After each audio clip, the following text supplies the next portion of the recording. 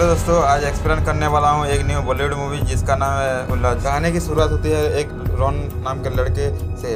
रोन के इर्द गिर्द में घूमती है जो अपनी ज़िंदगी में उलझन में है। वो अपने करियर और प्रेम जीवन में संतुष्ट नहीं है। रोन की मुलाकात एक लड़की, सोनिया से हो जाती है, जो एक फोटोग्राफर है। वो दोनों एक दूसरे के साथ समय बिताने लगते हैं और जल्द ही प्यार में पड़ जाते हैं। लेकिन रोहन का ज़िंदगी में एक नया मोड़ आता है, जब उसका बॉस उसे नया प्रोजेक्ट पर काम करने के लिए कहता है।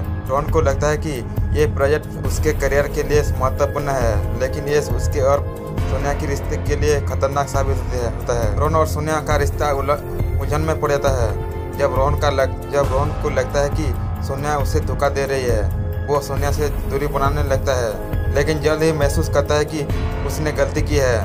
रोहन सोनिया के पास जाता है और उसे अपनी गलती के लिए माफ़ी माँगता है। सोनिया रोहन को माफ़ कर देती है। और वो दोनों अपने रिश्ते के फिर से बनाने के फैसला करते हैं। सोनिया रोहन को माफ़ कर देती है और वो दोनों अपने रिश्ते को फिर से बनाने के लिए फैसला करते हैं। लेकिन रोहन का बॉस उसे एक आखिरी बार धोखा देता है और उसे प्रोजेक्ट में निकाल देता है। रोहन को लगता है कि ज़िंदगी बर्बाद हो गई है, लेकिन सोनिया उसे समझती है कि ज़िंदगी में उतार चढ़ाव आते रहते हैं और हमें और हमें हार नहीं माननी चाहिए।